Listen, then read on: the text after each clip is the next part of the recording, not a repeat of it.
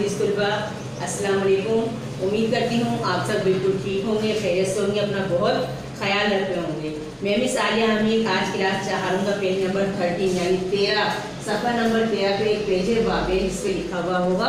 वावेन आपको पता होगा कि किसको कहते हैं? वावेन दो गो में ऊपर से शुरू कर कर दो गो में ऊपर ही ख़त्म कर देते हैं। जब हम स्टार्ट करते हैं, किसी की भी हुई बात, चाहे वो आप सल्लल्लाहु अलैहि वसल्लम की हो किसी हमारे पेरेंट्स की हो, हमारे रिश्तेदार की हो, हमारे दोस्त की हो, हमारे क्लासमेट हो, जिसकी भी कही भी बात होती है जो एक फरमान होता है, वो हम उसको वावेन के अंदर लिखते हैं। अब वावेन जहाँ से स्टार्ट होता है, उसको फिर हम स्टार्ट ऊपर से नीचे की तरफ़ करते हैं, और जब नीचे ख़त्म होती है बात तो नीचे से ऊपर की तरफ़ उसके जो है वो कॉमेंट जाते हैं। ओके स्टूडेंट जैसे आप सल्लल्लाहु अलैहि वसल्लम ने फरमाया फरमाने के बाद हम यहाँ पर स्टॉप लगाएँगे, फिर वावेन ऊपर से शुरू करेंगे। यानी उन्हें क्या फरमाया कि इनका हासिल करना हर मुसलमान मर्द औरत पर फ़र्ज़ है। तो यहीं पर जाकर स्टॉप लगाकर यहीं पर हम क्लोज कर देंगे। ओके स्टूडेंट इसको वावेन कहते हैं। एक्सप्लेनेशन साइन इंग्लिश में कहते हैं। सेकेंड है हमनी ने कहा। कहा के बाद हम स्टॉप लगाएँगे।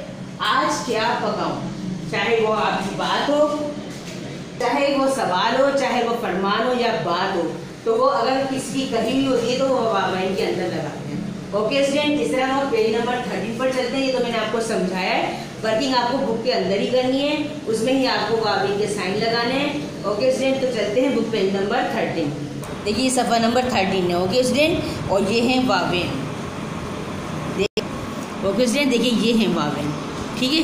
जहाँ से स्टार्ट हो रहा है, उसका मुँह ऊपर से स्टार्ट होकर नीचे की तरफ़ जा रहा है। और जहाँ बात ख़त्म हो रही है, उसका नीचे से ऊपर की तरफ़ जा रहा है। लेकिन देखिए, एक जैसे ही हैं बिल्कुल।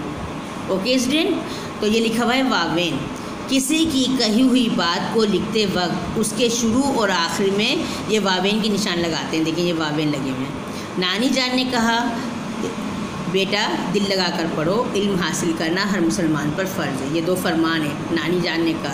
तो ये हमने दोनों फरमान वाविन के अंदर लिख दिया काम क्या है? आपका ये क्वेश्चन नंबर फाइव जो है, ये आपको बुक के अंदर करनी है कि इस पैराग्राफ को पढ़िए और ज़रूरी जगह पर वाविन लगाइए।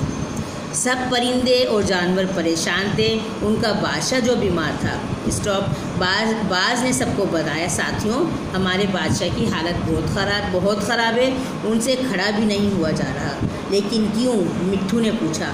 बाज ने कहा, दोस्त, बादशाह को बहुत तेज़ बुखार है। तुम जाओ, जल्दी से डॉक्टर बुगले को बुला कर लाओ। क्या तुम्हें पता है डॉक्टर इस वक्त कहाँ होगा? मिट्टू ने कहा अच्छा मैं जाता हूँ। सारे जानवर दुआएँ करने लगे। इसके अंदर कई जगह पर चार पाँच जगह पर वावेन लगेंगे। आप देखकर सोच समझकर अच्छी तरह से किसी की मदद से इसको आप पूर्ण कीजिएगा। जब आपसे काउबी चेक करवाई जाए बुक मंगवाई जाए तो फिर आपका ये काम होना चाहिए। ओके स्टूडेंट अब आ जाते हैं नीचे इस्तफ हामिया या सवालिया। इस्तफ हामिया कहते हैं क्वेश्चन मार्क को।